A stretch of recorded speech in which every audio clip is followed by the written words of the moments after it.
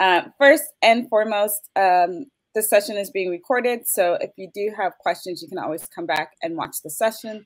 Uh, you can find it on the Gitcoin Media page on YouTube. There's a playlist that's called Greenhouse Hacks 2, and it has this session and all the other sessions listed there.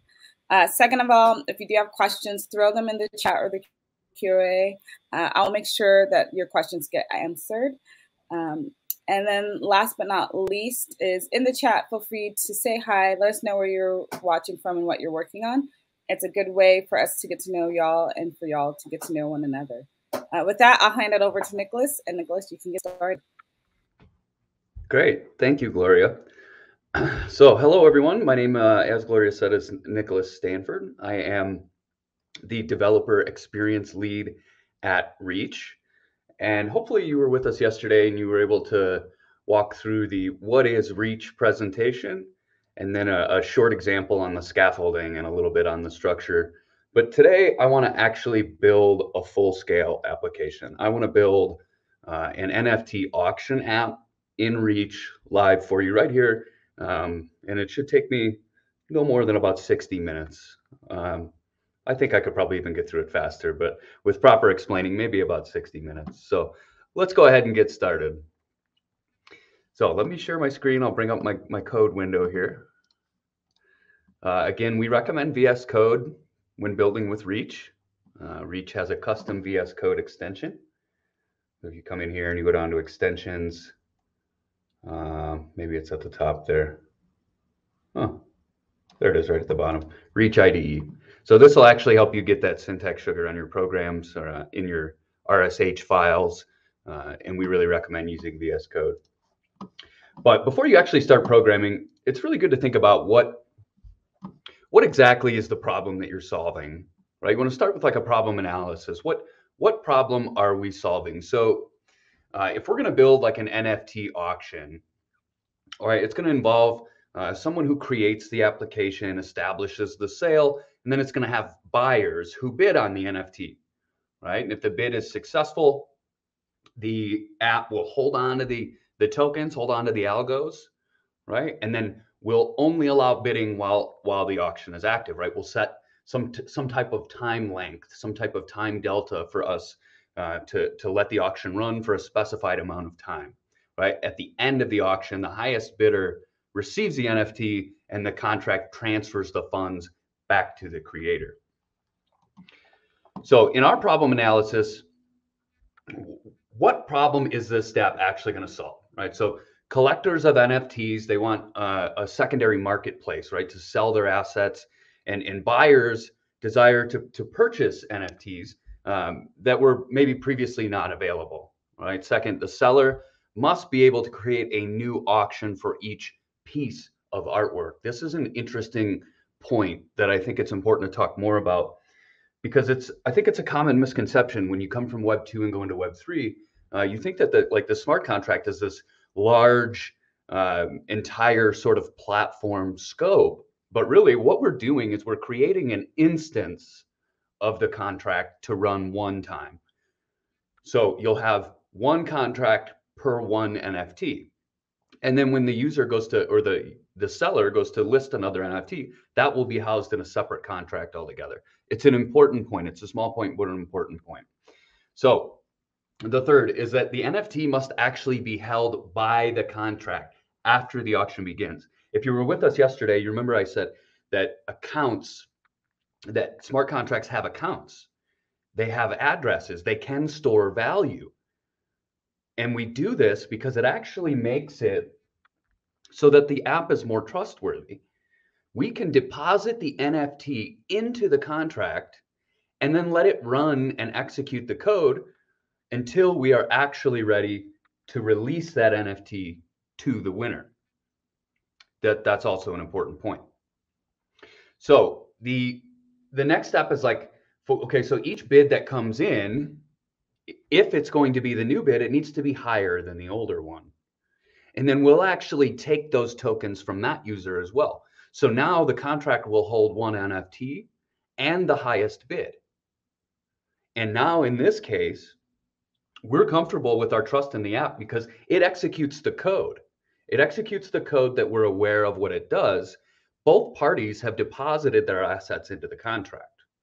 This is important for the trust aspect. So at the end of a successful auction, what, what is our contract going to do? It's going to send the NFT to the highest bidder, and it's going to send the highest bid back to the seller, right? So let's get started actually looking at and creating our project here. So uh, I think yesterday we called it green. So today let's let's call it green two. So we'll say make dirt green two. It's going to create us a folder that we can then change directory into green two. And now we're going to create the the basic reach files that you need. Um, so touch index.rsh is your backend reach file. Touch index.mjs is your front end JavaScript file. Okay, we've created both those files. Let's go in here and grab them. Green two. So we want to grab both of these files. We'll close this out so we can see. Okay. So now we need to actually look at the scaffolding. What what needs to be in every reach application? If you were with us yesterday, you know it starts out with reach 0.1. And this is just so we notify, hey, what reach, what version are we using? And the next piece of scaffolding that's very important is the actual export of the main application. So we say export const main equals a reach app. And then we put all of our actions in here, right? This is the body.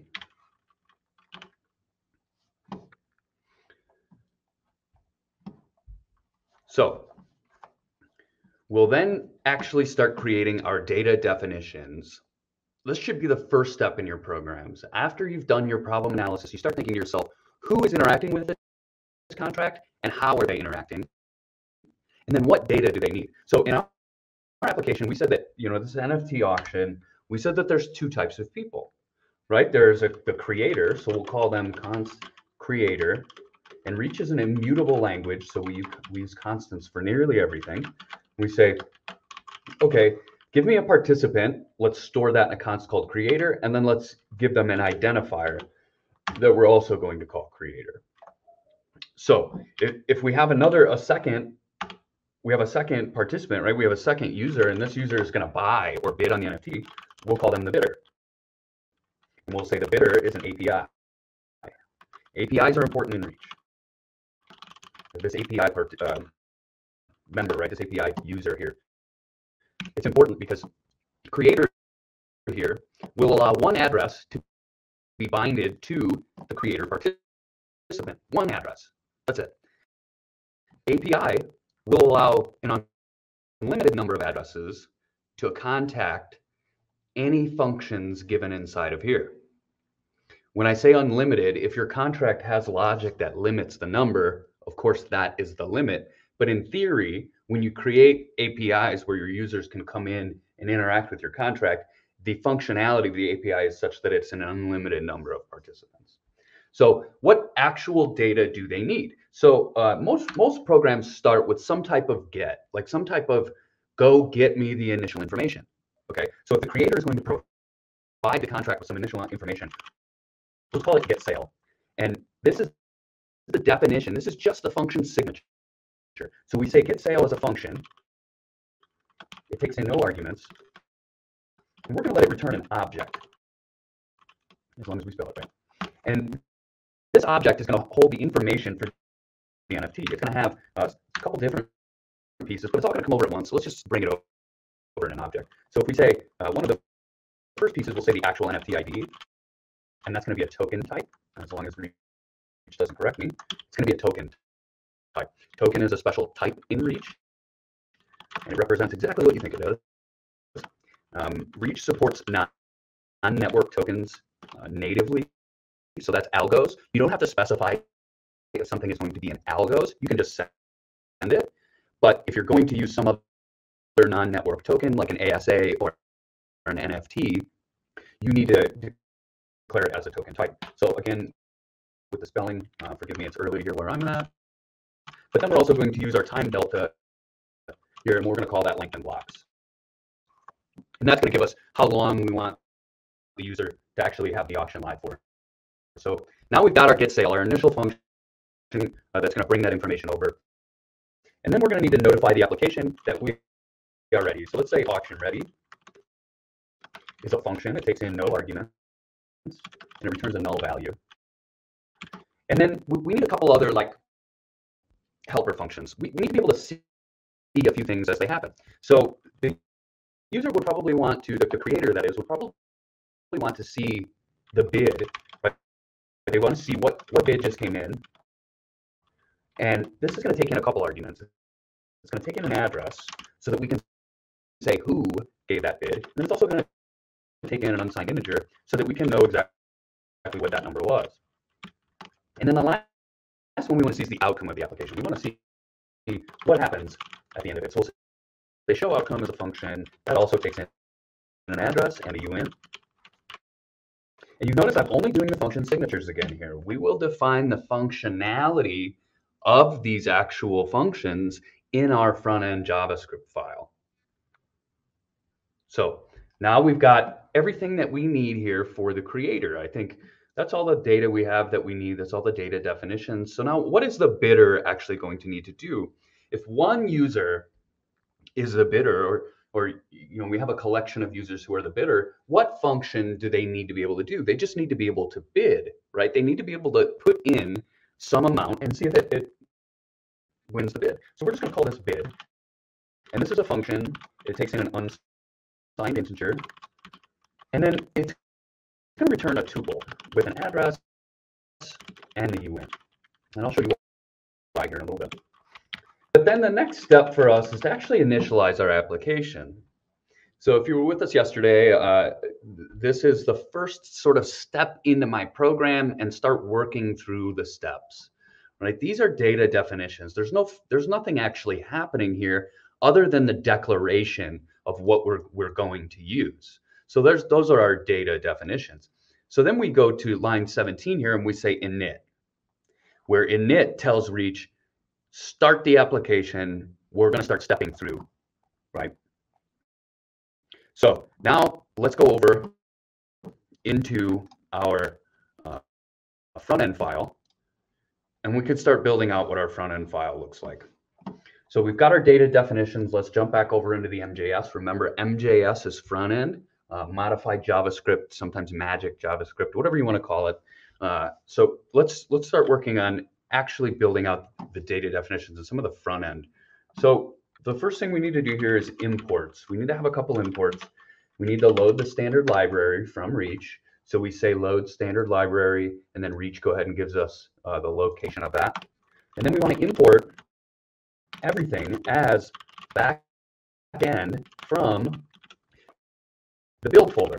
Uh, I've said this a few times now, but it was a good session yesterday. So I'll say again, if you were with us yesterday, um, this right here, this is where your actual RSH file compiles to. So if you go to your RSH file and then you come down here and you run reach compile, and I can actually get this out of the way for us here. I apologize about that. Um, you can actually run reach compile and it'll compile into a folder in here. And Maybe I'll, I'll grab the one from yesterday just to show you.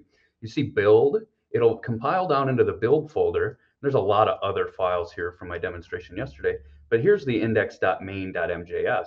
This is the compiled output from your RSH file. So what we're doing is we're importing everything. We're calling it backend from this file location. All right, and then we're going to add, we're going to create like a little helper constant for load standard library so we don't have to reference it like that. And the next thing we want to do maybe is like create a new account. So we'll say account creator, and this is a standard library helper function that is only allowed in test environments, but it's really useful for us here right now. And it takes in a number. It takes in some number. So if I wanted to say it takes in 100, I can't say that. The Algorand network deals in micro algos. So I can't just say 100. It'll parse that down to micro algos, and I won't hardly have any. So how do we deal with that? So what if we created a starting balance constant? So let's say, uh, you know, instead of 100, we're going to move it and say starting balance. But then up here, we're going to say the starting balance is standard library parse currency 100. Okay. And now this this is going to take 100. You, the programmer, speaks algos.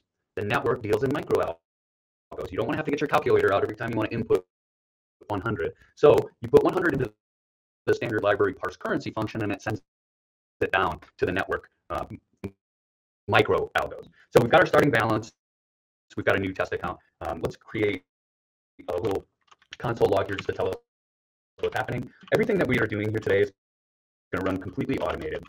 Uh, there are some some different things we could do to make it interactive so that our user could come in and say, okay, I want to bid this much. And that's how you would build a real application, but our test applications run a lot faster and more efficiently when we automate our tests. So today, everything I'm going to do is going to be automated. So you'll see me drop some console log statements just to make sure uh, that things that, that when the program runs, I'm seeing the output and I know what the, program is doing. So we've got our new test account. And I think the next thing we should do is actually create the NFT. The, the actual standard library, the standard library has an actual uh, launch token function that allows us to create an NFT easily. So we'll say console.log, and not just an NFT. Um, it allows us to create any any sort of uh, ASA token with any amount of tokens, but then to specify an NFT, you just make it one. It's just supply of one, and now it's one non-fungible token, right? Const, and we'll call it the NFT. And this this is the actual language we're going to use for creating it, right? So we'll await again, we'll await the standard library to launch token. And launch token takes in a couple arguments. The first one is who is launching this token, and we're going to say the account creator is launching this token. Uh, let's call it uh, anything you want. Here's another identifier, name. You see that pops up here. You get account, any, name, string, and then symbol. So what if we called it the Mona Lisa? That's the name of it. Well, we're not, copyright infringing. Who knows? Okay, and then we'll use NFT as the tag. So, you know, that's the symbol for it, right? You're familiar with uh, token symbols. It's usually the three letter identifier, three, four letter identifier um, that, that goes along with that token. So we're going to say it's an NFT. And the last thing we need to do is specify the supply. See, it's a supply. How many? We're going to say one. We only want one. So I think that's everything I need to create the NFT. So now it'll create the NFT for me with that launch token. And it'll store it all in that constant called the NFT. Okay, but the NFT has different properties. So let's go in here and say, okay, now NFT ID is equal to the NFT dot ID, and that'll return the ID for us and store it inside that constant. And the next thing we need to do is declare what our minimum bid is going to be allowed. So we'll say constant in bid is equal to the standard library. Again, if we wanted to say two, we can't say that. We need to say parse currency and send it that way. Otherwise, you'll get two micro algos. And I don't think you could buy anything for two micro algos. I, I don't even think you could make a transaction for two micro algos. So we've got our minimum bid now. We've parsed it down into two algos. Let's give it the length. How long are we going to allow this thing to run for? Remember our time delta was referenced in length and blocks. And why don't we have to parse this currency? Well, because it's not currency. It's just a, a number. It's a 10 blocks. We don't want to parse that down and say 10 micro algo blocks. That'll run very, very fast.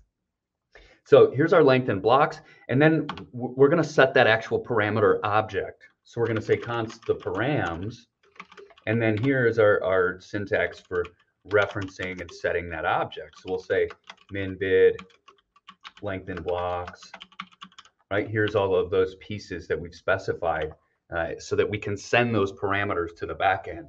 Right, we said that back here. This first get sale function is actually going to return an object that has NFT ID, min bid, length, and blocks. So here we've specified NFT ID, min bid, length, and blocks, and then stored it in an object called params. So when we're ready, we can just pass the parameters back.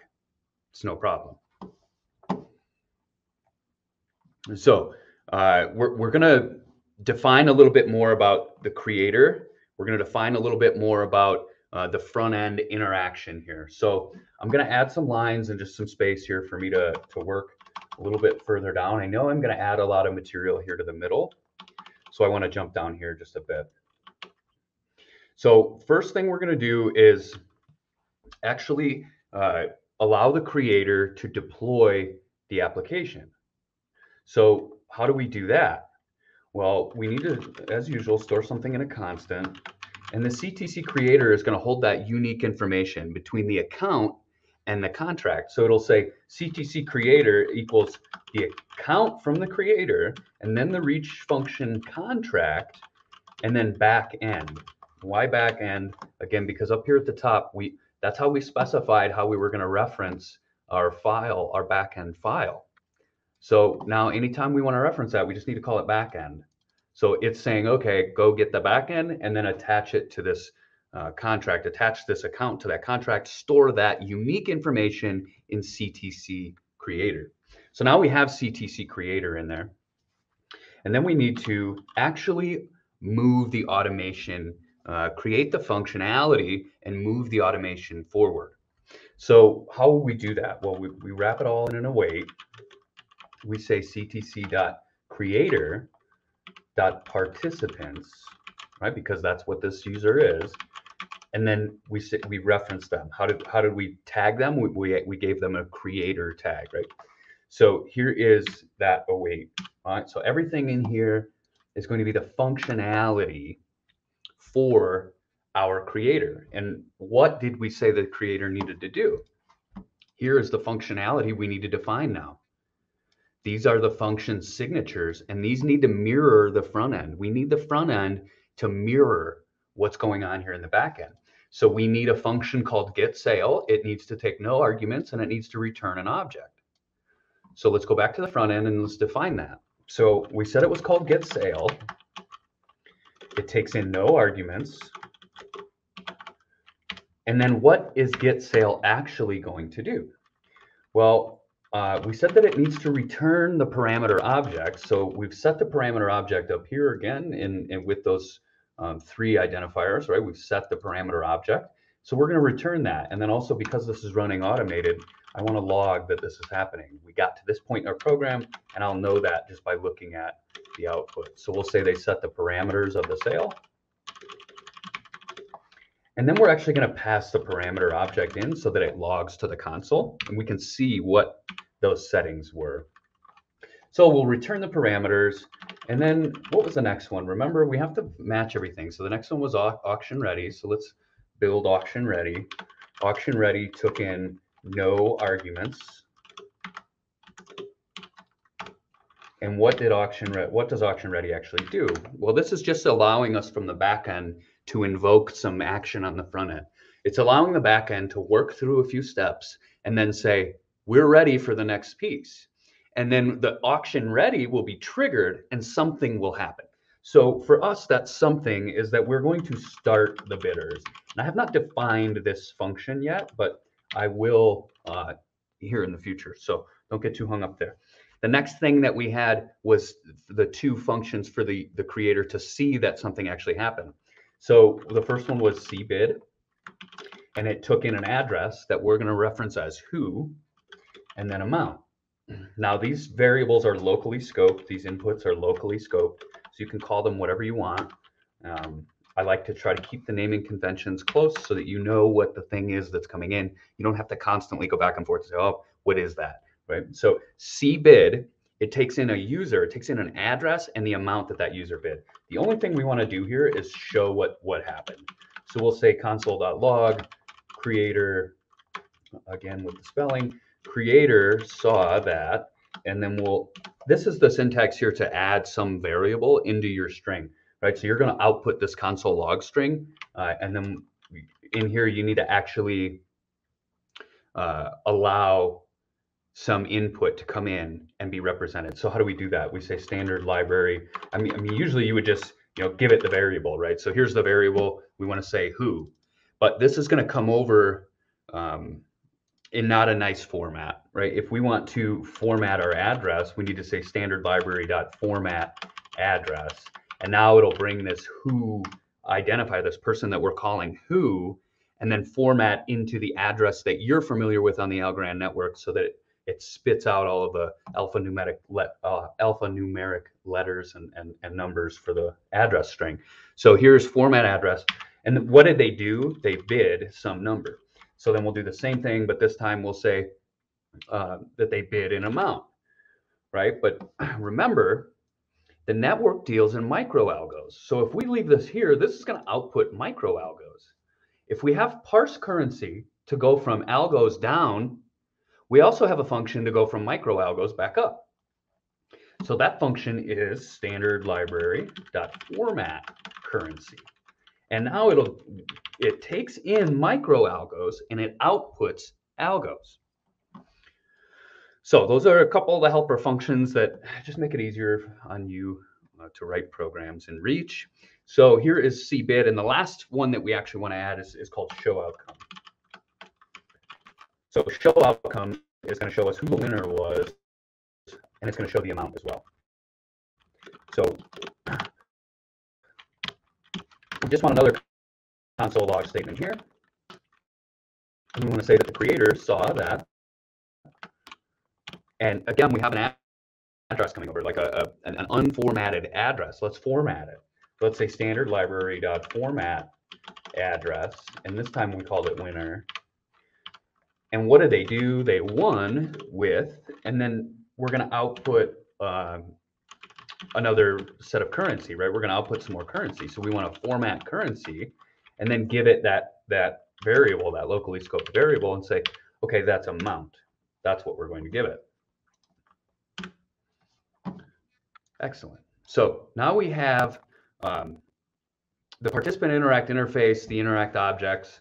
So this is the participant interact interface, right? This is what functions and data this participant is allowed to use. And then mm-hmm. this is what functions and data this participant is allowed to use. And now in the front end, we've defined what the interact object is. What is it doing? Here's the functionality. It's logging things to the console. It's returning things back to the back end, right? That's how we, we think about that. So the all the initial data points have been defined, and we're going to move on to communication construction. How do our users actually input that information into the application, right? How, how do we actually allow these participants to communicate with our smart contract? So let's uh, roll down here into our RSH file. And let's start building out some of the communication construction. So the first thing we said is that the, the app starts with some type of like informational upload. We, we need to teach the contract some set of information. Who does that? Well, the creator does that. So we're going to come down here and say creator only. And this will move us into a local step, which is just the user input putting some information at their keyboard. At their keyboard, they're telling us what is the NFT ID, they're telling us what is the minimum bid, and they're telling us what is the length in blocks. So we need to bring the, that information over into its own constant. So we're saying NFT ID, min bid, and length in blocks. And typically what we would want to do is just reference that function, right? We, want to say get sale, give me that function. But this lives in the front end. Remember, the functionality is here. It's not scoped for you to just say get sale. So you need to say interact with that, that front end function that I'm calling get sale. And the last piece of this is that it comes over hashed. So you need to unhash that return value so that we can actually see what's underneath of there. So now we've returned the parameters from the front end, from the users, inputted those parameters for us, and now we're ready to actually publish this information. In a local step, it's between the user and their computer. But we want to write that information to the blockchain. So what we say is, give me the information and then publish it to the blockchain. So we've got creator.publish, and this is uh, this is a consensus operation. So the user's wallet is going to pop up here and ask them, do you approve this transaction? Because it's going to cost that standard network fee of 0.001 algos. So uh, we'll, we'll publish that information. All right, we're going to set our own amount here. We're going to say there is just one. Oops, forget our equal sign. There is just one. And then we're going to commit. What is commit? Commit is us moving out of consensus back to a regular state of our program. The regular state of our program can be designed in many different ways. We can have a lot of different states that move between consensus and local and back and forth. Uh, commit is our way of saying, I'm done with all of my consensus operations. Please move on. So we'll come out of our consensus and then we'll go back into uh, our creator action. So the creator is actually going to pay how much amount and what are they paying NFT ID. So if you've seen any reach programs before, uh, maybe you've seen something like this where it's like creator.pay uh, amount. The difference here is that this is this argument is for network tokens. If you are trying to pay algos, that's what the argument looks like. But if you're trying to pay non-network tokens, NFTs, ASAs, you need to have what we what we refer to as a syntactic tuple of tokens. So you see the two brackets we have here. This is the, the common syntax in Reach for paying some amount of non-network tokens. There's a big difference. Network tokens are algos, non-network tokens are ASAs and NFTs. So we, we specify, I want to pay this amount of this specific token. And that's how we differentiate between non-network tokens and network to tokens in this pay uh, function in, in the, the arguments of this pay function. So now the creator has given us the information, they've published the information to the blockchain, and they've paid their NFT into the contract. So the next thing for us was that auction ready, right? We're, we're ready. So we want to say creator dot, uh, I apologize. If you would usually just say auction ready, but we're going to say interact dot auction ready. So this is actually going to return nothing. Remember, auction ready right here returns null.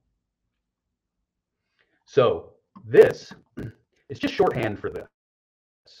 But it's the same thing as saying creator dot only and then building all this out and then coming in here and saying uh, interact dot auction ready. It's the same thing. Why do we allow it this way? This returns a null value.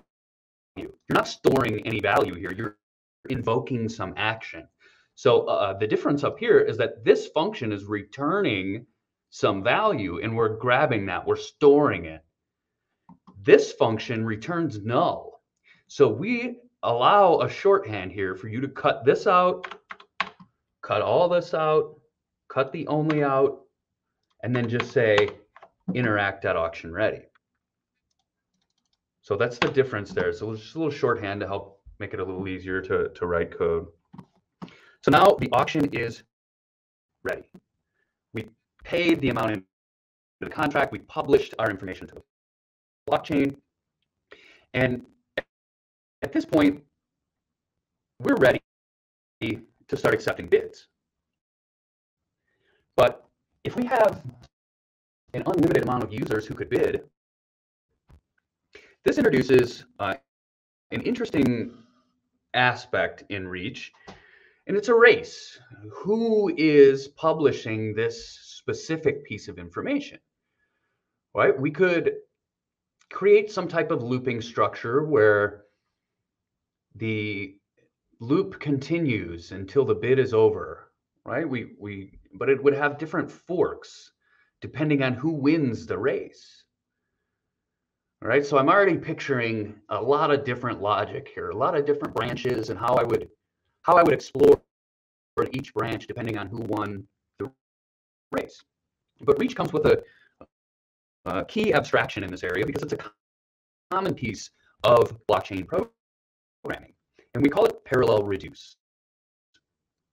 The, the parallel reduce name comes from the fact that these participants are trying to they're trying to produce a new state from all of the current values at the same time in parallel. They're all trying to produce some new state. So it's basically a fork and a case loop. So while Alice is, is trying to produce that new state, Bob might also be producing some other state. And reach needs to determine who tried to update the state first. And then depending on who won, execute some specific logic. Okay, that's, that's a lot of words, but let, let me show you what it actually looks like. So the first thing we're going to do is specify that time delta, the end of our the end of our auction, right? So we had lenInBlocks. So you you could just use 10 as a lengthened blocks, but we need to tell Reach, we, we need to tell the smart contract uh, instead, what time is it? It doesn't know what time it is. When, when you create your smart contract out of thin air, it doesn't know what time it is. So you need to teach it, what time is it? So you say the end is last consensus time. And this is a helper function in Reach that'll go get the last consensus time on the network. And then you add the length of blocks to that. So what have you just done? You've created some time out in the future that's 10 blocks ahead of this consensus time. So that's what we'll use to end our, our auction. Now, we're actually going to start to define our parallel reduce. So we'll say, what are the variables that are going to change? What variables constantly need to be updated by all these different people? Okay. So we have the highest bidder. This will change depending on who bids, right? We have the last price that was bid. And then we have a Boolean for like, is this the first bid? Because we have some special action that we need to do if this is the first bid. And then we have uh, our parallel reduce. So we say parallel reduce. Oh, excuse me. I'm sorry. Seems the uh, helper there did a little too much for me. So we say equals parallel reduce. And what is on this parallel reduce side? They, these are the actual initial values for those variables. So what do I mean? I mean, creator is set to highest bidder. Min bid is set to last price and true is set to is for is for bid. So this is what the actual declaration of a parallel reduce looks like. Now, uh, just to clean up a little bit, I want to sort of format this for a way that I'm a little more, more familiar with. So it'll say like this. So we have our three variables, and then we have their initial values here. Okay, but then after that, we actually need to input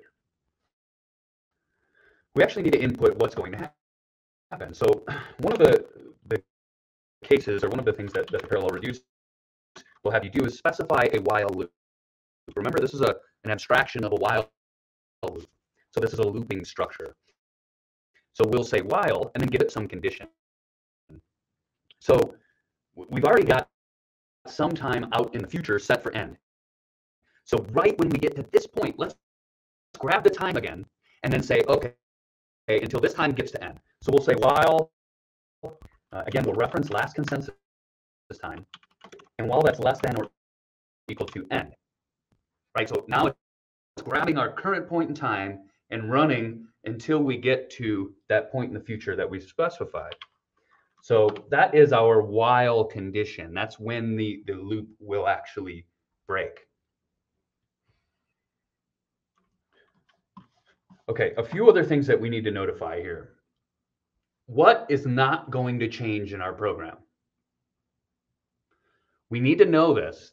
Reach has this special feature for verification checks. We call it the invariant. What is an invariant? It's something that never changes. The condition inside the invariant never changes before, during, or after the loop.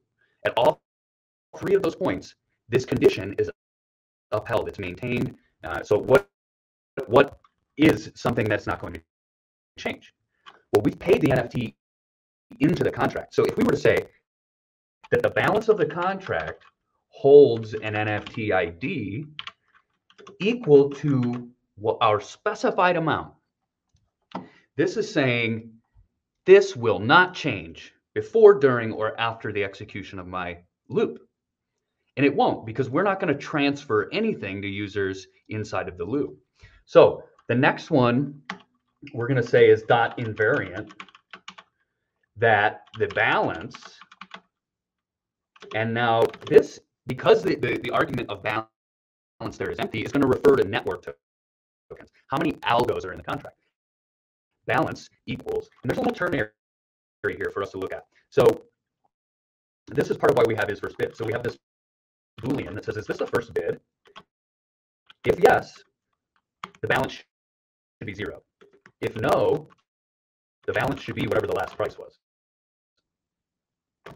Right? Just a ternary operator. Is this expression true? If yes, give me the first thing. If no, give me the second thing. So that is uh, like the, the structure of what our actual uh, parallel reduce looks like. What, what are the bones of our parallel reduce? Uh, and the next thing I think we need to do is actually start to to call our bidder API. So if we have, you know, we have this API up here, right? We called it bidder, and it has this bid function. How do we specify that call inside of a parallel reduce? We say API, and then we reference the API. What did we call it? We called it bidder, and then we reference the function. We called it bid. Right? It takes in one argument, call it there, and then it's going to do something. And this is our API syntax. Uh, so the, the API underscore there, we refer to that as API macro, right? It's a special macro of a standard API, and a standard API is specified this way. But we'll be using the macro. So one advantage of this macro is that it allows Reach developers to write less code. Right? There's less opportunity for you to introduce bugs. It's a quick indication that the dynamic assertions will not change between our two steps. Right? There's a lot there, but I'll show you what that looks like. So we're going to come down, down here to line 39. We're going to skip one so I can show you what that check looks like a little bit later. So, so we'll come down here to line 39, and we're going to actually start to define the meat of what this API does. So we need to wrap it inside of a return. And this first argument is going to be what the user pays. This is a pay expression. The user pays this amount. Um, the abstraction of the parallel reduce is such that all of that functionality is squashed down inside of this return. So it'll say pay that amount, whatever's come in here.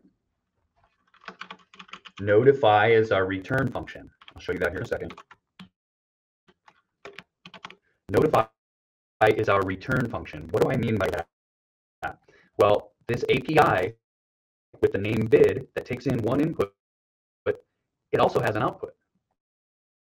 See, bid takes in one input, that's what we call bid there, and, and then it outputs a tuple. So we need to return a tuple. So how do we do that? We create this necessary return function. You must specify some return function. You can call this whatever you want. Sometimes you call it just return. Maybe that's easier, just call it return. And then you come in here and you say, call the return function and then send the return values. In this case, it's going to be whatever the value currently is for highest bidder, and then the, the value for last price. So this has the address for the highest bidder. This has the uint for the price. So there's our tuple. There's the return of our tuple. If you were to change that to anything else, Reach will yell at you and say, hey, that's not the right one. Okay, so now the logic. What is actually going to happen? If this is not first bid, what do I want you to do? If not first bid, transfer the last price to the highest bidder.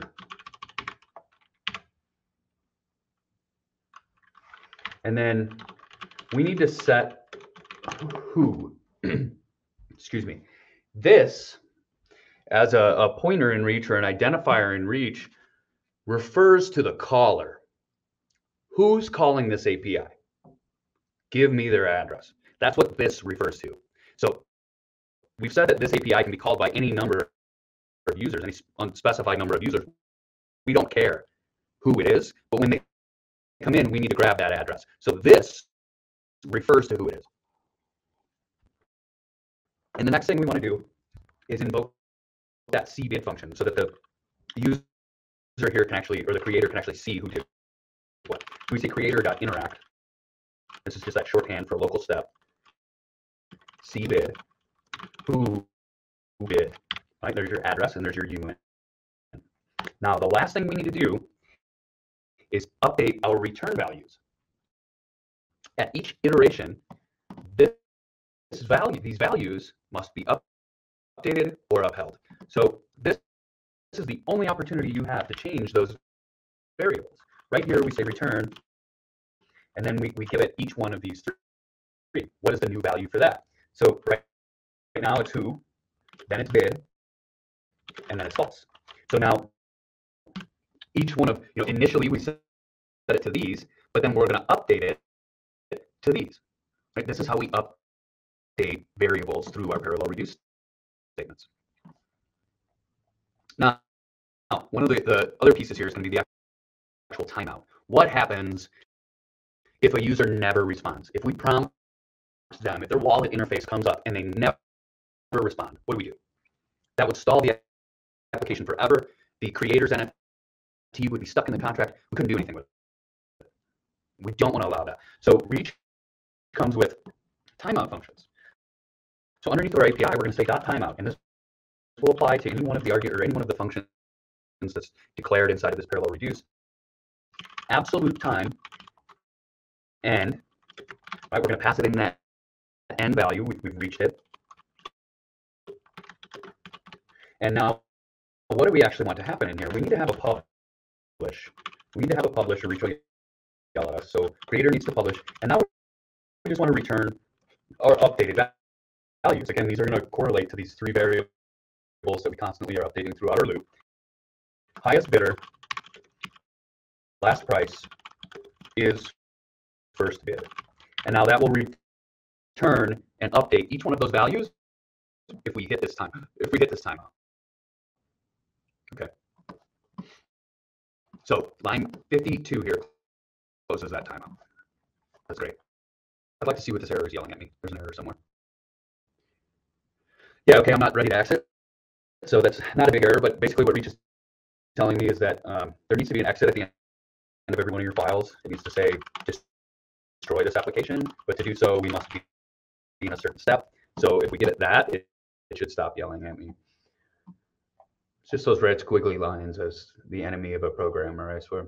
So, excuse me. Um, so we've got our commit, our exit, and we'll, we'll cover that a little bit later. But now let's go back to our front end. So the actual stepping through of our program is ready. We have the NFT in the contract. We've we've we've said auction ready, and then we've had our bidders. Uh, we've defined what they're allowed to do. They can come in here and, and invoke this bid function. They can come in here put in one parameter and be returned this right here, is that tuple address UN. So if we're gonna go back to our front end logic, remember that's the MJS file. We'll come back up here where we left off. And let's move on to actually sort of creating that, that start bidders. Remember, start bidders is how we actually run our program. So the back end is going to hit that auction ready portion. And then that's going to jump to the front end and run auction ready. So we jump to the front end, we go down to auction ready, and it runs this function called start bidders. So now we're going to come up here and define what is start bidders and what does it actually do. So we'll create a variable for done, and we're in the MJS file now. We're in the front end. This is not specific reach code. The reach standard library is specific to reach, but you're allowed to use variables let uh, and, and, many things in here that you're not allowed to use in Reach program. So we'll say const bidders, and we'll just set them as an empty array. This is something you can't do in Reach. Right? All arrays need to be static and defined at, at initialization. Right? Um, but it's not a requirement in JavaScript. So we'll uh, define that constant or, or that variable to, to get us a, a done value when we're ready for it. And we'll also define that array that lets us know uh, who our bidders are, and we'll, we'll push each one of those bidders onto that. So the next thing we're going to do is actually create that start bidders function. So we said start bidders, and I believe it, it needs to be async. So we'll say async, we'll spell it correctly. The backspace is my favorite key, I swear.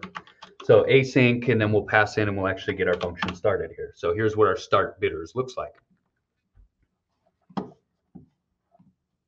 Okay, next, uh, let's actually create that variable for the bid. And it'll say um, this this bid is equal to that min bid and allow us to update that later.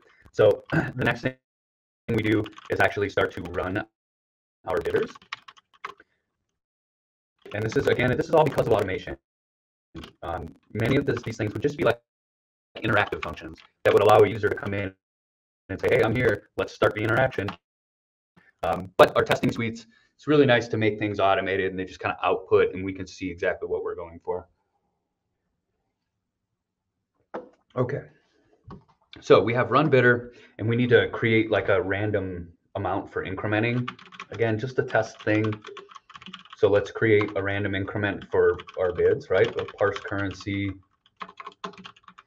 And then we'll say math.random. Give me a number between zero and nine. And then we'll say bid is equal to bid dot add. And then we'll add that increment. So that'll allow us to actually update that, that bid. Okay, the next thing we're going to do is actually start to create some test account. Each time we run this, it'll, it'll create this test account. So we'll say, generally speaking, let's call, call it account, and that equals await the standard library, create me a new test account, and give it the starting balance. Remember, we've already defined what starting balance is. We parsed currency down. And then we're going to set a debug label. And this is just for us to see uh, some extra output that's specific to who is calling. And then we need to await. And if you've been interacting with the Algorand network for any uh, amount of time, this function should seem familiar. Why? Because we need to opt into our ASAs on Algorand. If it's not the algo token, your wallet needs to opt into that. This is a helper function that says token accept this ID and opt into that for our user. And then we're going to push onto our bidders array. We're going to say array for bidders.push, right? And we're going to give it the address and the account.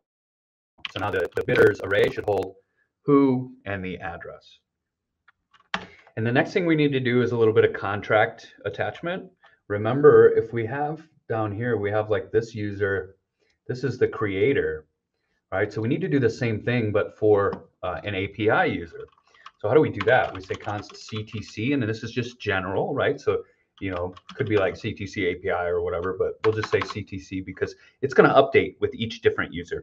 So we'll say account.contract the same way. But the difference here is that it's going to accept two arguments now. It's going to accept the backend that we defined, but then we're also going to specify that this is the contract we want, not just any instance of this contract. So we need to say CTC creator. We need to say CTC creator dot get info. And now that'll tell uh, Reach that use this backend contract specific to this other user. And then store that, that specific information inside CTC. Okay. The next thing we're going to do is create a, a helper function that's just going to get us the balance. It's an async We're going to format currency here. What are we doing? Uh, we're going to get the balance of the account. So Reach has a helper function here that will allow us to use balance of, and then just pass in the account that you need, and it'll it'll output the amount of currency, and then you need to format that for you to to actually be able to read um, instead of being in micro units. So we're getting there. We're, we're uh, line 30 on the uh, front end there. It says that get balance, that helper function. So let's keep working through and, and let's get a couple of uh, console log statements here that just show us what's happening. There's a lot going on so far. So let's say console.log, we'll say who, don't forget your curly braces. I had a professor once who called that a nance, and I've never heard it again. So if anybody like has a software engineering degree and is guaranteeing me that's what it's called, please let me know. Otherwise, shout out to uh, the Mr. K who called it a nance, and I've never heard it called that again. So who decides to bid? And now we need to say what they're bidding. Standard library dot format currency because if we're going to send the bid, right, it's going to be an amount. We, we want to see it. We want to see it in regular currency. And then I'll add, uh, I'll add another log down here below it. That's going to tell us uh, the balance of the user's account, right? We use this, this helper function on line 30. So we'll say console.log, and again, we'll say who uh, balance before is, and then we'll call that get balance function. So now that should grab that balance and log it for us. Each user will see what their balance looks like.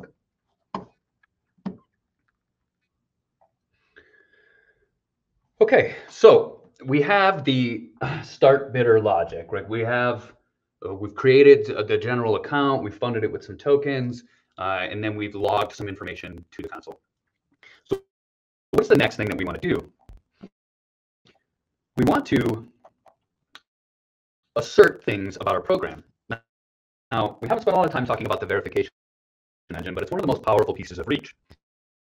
It allows you, the programmer, to prove any assumptions you have about your program. If you have experience in programming, you, know what I'm talking about. You write this function and you think it works some way. So you write a lot of test cases and you test all of the possible inputs, you test all the possible outputs. And when you think you've got it all, you say, okay, I think it's good.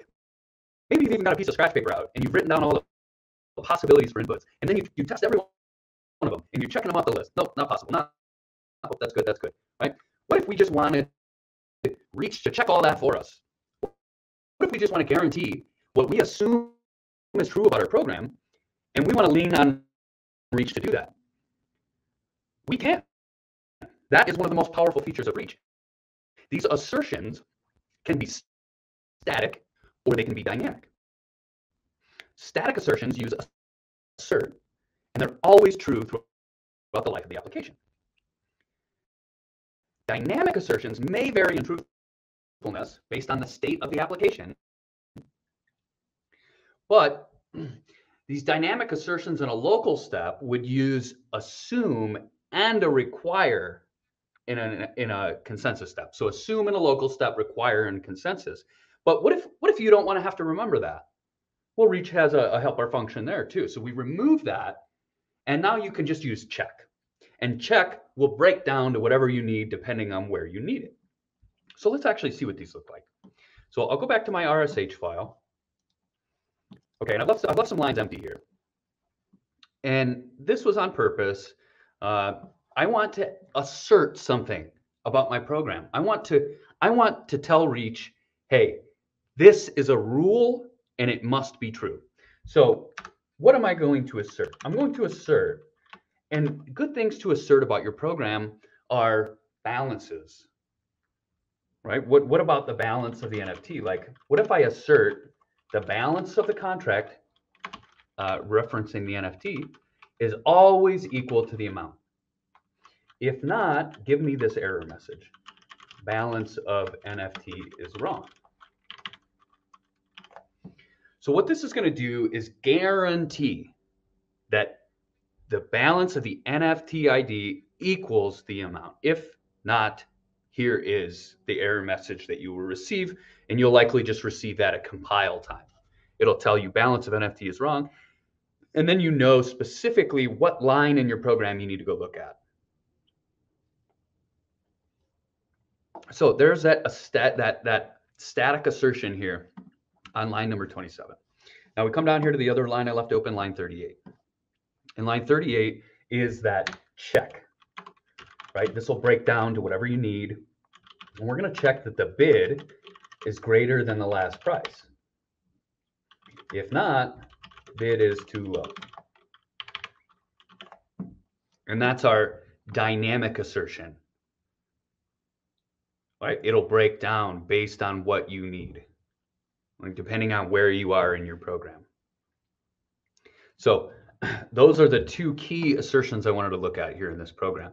But now let's go back to the front end and let's continue on with, with our communication construction with actually running our bidders here. So we're going to create, we're going to implement a try catch block. If you're not familiar, try will attempt to run this uh, code. If some error is present, it will catch that error and then run that other block, right?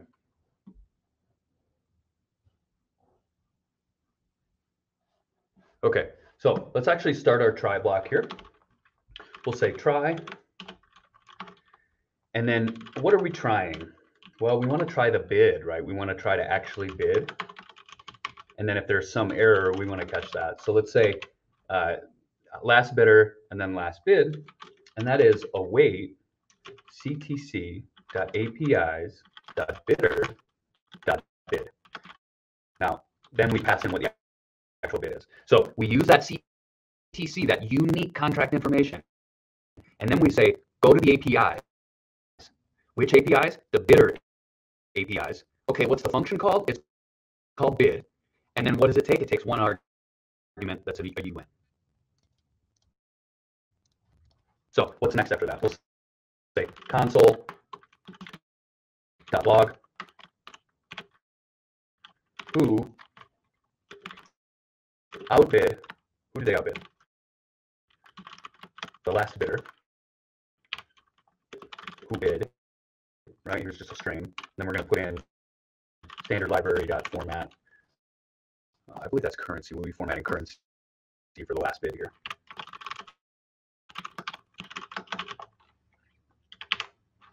Last bid, add our end of line character. Now, what, what do we want to catch, right? Um, this is sort of, uh, I mean, it's locally scoped, but it doesn't matter what you call that. Uh, you can call that anything you want. E is common for exception. That's what it's referred to as an exception. So console.log who failed to bid because the auction is over. And that's really the only case we would get into. If you have other cases, you would just specify what what happened. I mean, the idea is that you you know what are the possible options for the errors that'll be thrown, and then you want to try to catch each one of those possible options.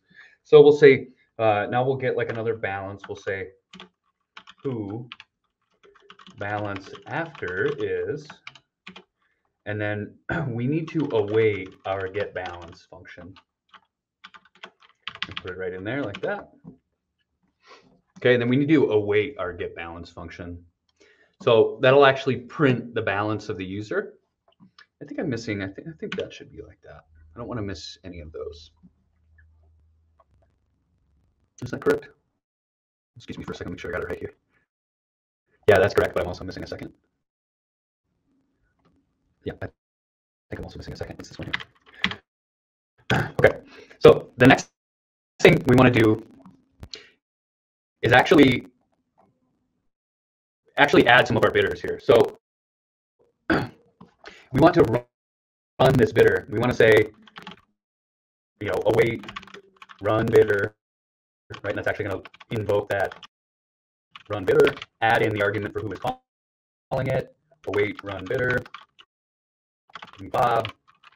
Always need to use Alice and Bob. And the, the third common cryptography name is Claire. Use Claire. We usually stop at two, but you need a third, Claire is there to save the day. So while not done, this will just move us forward. We're in a DevNet and it operates a little bit differently than the testnet or anything else for that matter. So that is our try catch block. That is us invoking that await. And one of the next things we need to do is to sort of finish up in the RSH file. We need to actually transfer. If you remember, we go to the back. We, we finished up our, our loop right? And we didn't do anything.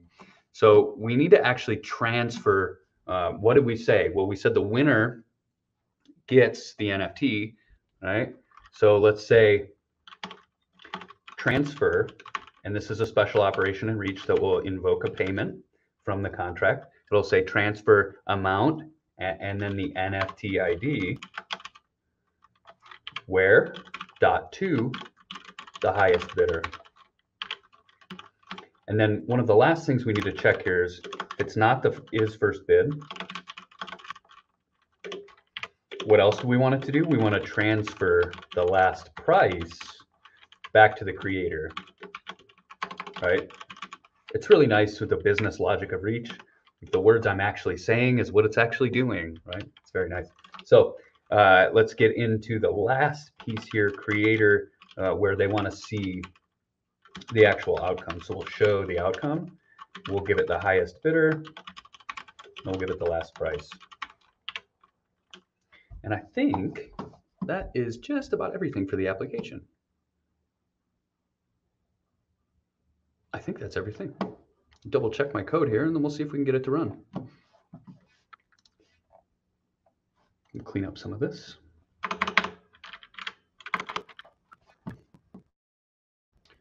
Oh, there's one other thing we need to do. Oh yeah, we need to output some more information here at the bottom. Yep, okay, so let's do that. So let's add this part here. So we need to come down here and just create like a simple loop. Again, we're in MJS, so looping structures are different. And we'll say const um, who and then the account of bidders, right? So that'll iterate over our bidders array and then it's going to do something. It's going to take the amount, the amount NFT, and it's going to grab those from the balances.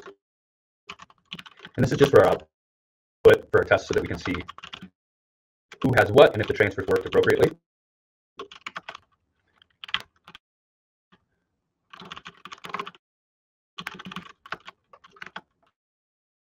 Okay, who has and again, we're going to format the currency so that we can see it in a nice output. Format currency amount. And then we need to specify the standard unit. So we'll say amount, and then we'll come in and say standard unit. So standard library dot standard unit and then we need to output the NFT. oh, excuse me. I think just one. Excuse me. I apologize for that.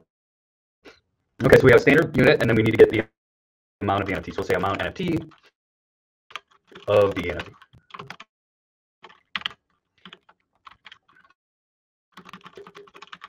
Turn a variable off.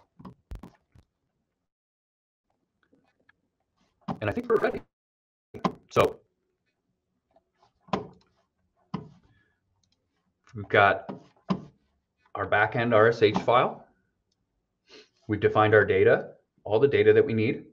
We've defined the actual communication construction. How does our user interact with the application? And then we've created our parallel reduce, which is our large looping structure. And it allows these bidders to come in and bid and update all of this information, these different variables uniquely, right? And then we, we can publish that information. And then we, we actually have a transfer pattern here at the bottom. What happens, who gets the tokens at the end. So let's actually run and see uh, how this works. So we need to go into our folder. We're in uh, green 2, I think I called it. Uh, the little white dots here mean that I still need to save my files. So we'll come up here and go save all. I want to reach compile first and see if I made any errors in the RSH file. Again, the uh, reach compile only checks your RSH file for errors. That's your actual reach code. And we see it checked all the knowledge assertions. Uh, all of the verification theorems have been checked. And there are no failures. So we need to tell Reach what network. Remember, Reach is blockchain agnostic. We work on different blockchains. But if we want to tell Reach, look at Algorand, we say Reach connector mode equals algo dot slash reach run. Now I know if there are any errors, they're likely going to be JavaScript errors because I already used reach compile to check my RSH file. So that's your Docker output. And then you've got uh, everything. Okay. Yep. That's moving a lot on me. Give me, a. Give me a second. I'll show you what that output is there. So, uh, okay. So it looks like I'm getting an error. Balances of is not a function. And I think I just have an S there. I think I just have an S there where I shouldn't Oh, no, I'm sorry. That's just capitalized. Do you see that? I just accidentally capitalized it. So let's close that. Where's it at? It's in the MJS file. It's at the bottom. Right there. That's the one. And you can tell because it gives you the, the automatic sort of uh, autocomplete there. So let's go back into our green two.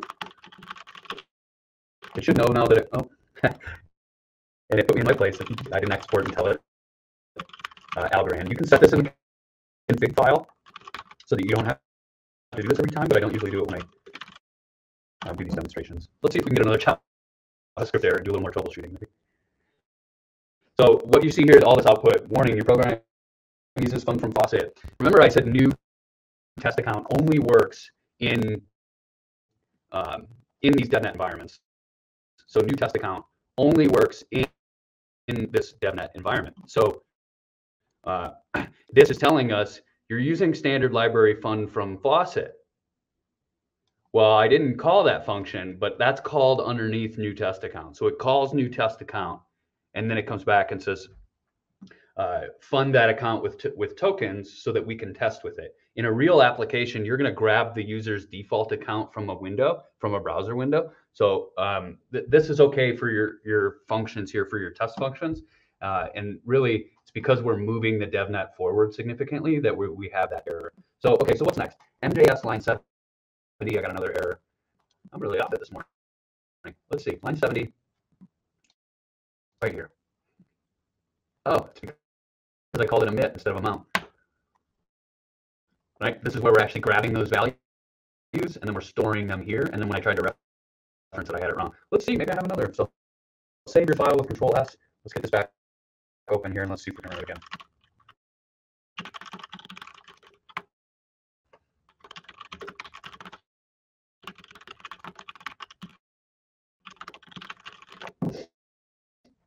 Okay, now this time I don't want any JavaScript errors. Two is enough.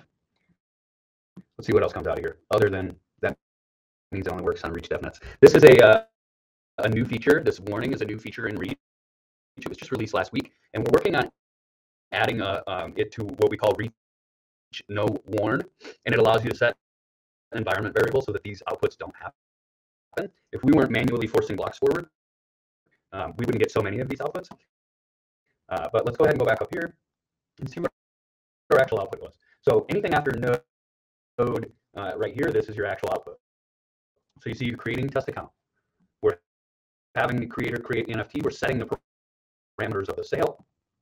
And then Alice bids. We remove the amount, right? We There's the before balance, outbid this user, and then here is the balance after. So you see we've actually taken the six tokens out of the 100 to get down here, right? And then we have a couple more bids for Bob, bid here. Claire just tries to bid, but fails because the auction is over. So that's our try catch block uh, executing. And then it shows that we didn't take any tokens from Claire because the auction was over. Then we're gonna skip all of this repetitive output. I apologize for this. I'm really looking forward to that reach no warn uh, coming out. So uh, here's where we, we looked at creator saw that, and here's the address formatting we talked about. You're familiar with this format of address This is a standard on Algorand. Uh, and, and this is what that format address function does for us. So we saw that these two users bid, uh, this second user outbid the other, and then it's going to show us who has what. So the creator saw that this person won the application, right? They won the auction, and then we're actually transferring the amount away, right? We're taking tokens away from Bob and we're giving him one NFT. And we see nobody else has an NFT, right? and their balances are still where they were. So our program is operating correctly. So that is uh, an, a full-scale NFT auction built with Reach. I said 60 minutes. It looks like I had 75. So um, that's it. That's that's uh, the power of building in reach, right? Uh, let's look at how many lines of code we actually have. You have 72 lines of front end code and you have 60 lines of back end code. You have 60 lines of reach code to build a full scale NFT auction that we could deploy right now. We could deploy right now. One final thing I want to show you. CD, we'll go back into green two. And what if I say reach compile intermediate files? Intermediate files are going to be the in between for, for reach code. Before we send it to the network, show me the rest of the code. So what does that look like? So I that's that's why I have so much output here. This is actually from yesterday. So let me get into this one. Go into that build folder, and here's all the intermediate files that it output for me. You see a lot of Solidity files, um, and you can also see some teal files. I guess if I extend this out a little bit more this way, you'll actually be able to see. So here you go. Here's app approval.teal and a couple of helper functions there. So let's look at what the teal code actually looks like. So here's the difference, right? As I'm working through this NFT auction, I'm telling you the things that need to happen. And those are the code, that's the code that I'm actually writing. Creator only, go do this thing, transfer this amount to this person. Well, this is the alternative stack based execution machine language, assembly code written in stack based execution. Um, I've personally played around with this code a little bit it's it's challenging to write. It's one of the most challenging paradigms to write in assembly language. So this is all of the code that we did not have to write. Reach actually created this code for us. So we don't have to write teal.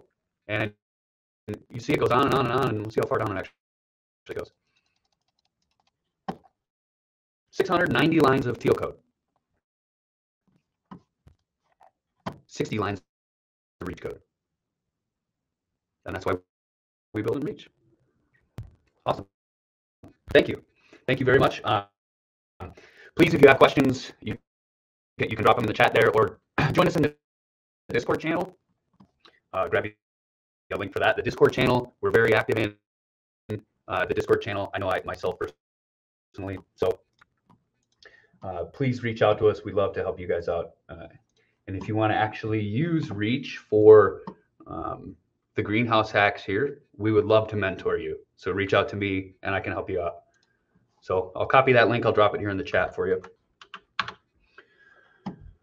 Excellent. Yeah, I don't thank you first off, Nicholas, for going through that. That was pretty uh, astounding. That it is so simple. Um, I haven't played with Reach yet, but this is really encouraging for me to try to give it a try. Um, for I don't see any questions. So for those of you who have mm-hmm. questions, again, uh, Nicholas dropped the Discord, so that would be the best way to get in touch with them. Uh, again, there's a couple of days before we start the actual uh, Greenhouse Hacks Hackathon, so um, you have some time to familiarize yourself with the tools, familiarize yourself and play around with Reach. Reach out to the mentors if you need any assistance um, and then feel confident when you're actually starting your project. So, um, with that, I will say thank you again to you, Nicholas. And for everyone else, I'll see you tomorrow. I think tomorrow, and when we're going to do a preview of what we think the um, categories are going to. Oh, actually, sorry, the preview is on Friday. Uh, tomorrow is programming with PyTeal. So that will be another deep dive from a programming perspective. Uh, and other than that, you'll be all set. So we'll see you all tomorrow. Bye, everyone. Awesome. Thanks, Gloria. Bye, Nicholas. Thanks again.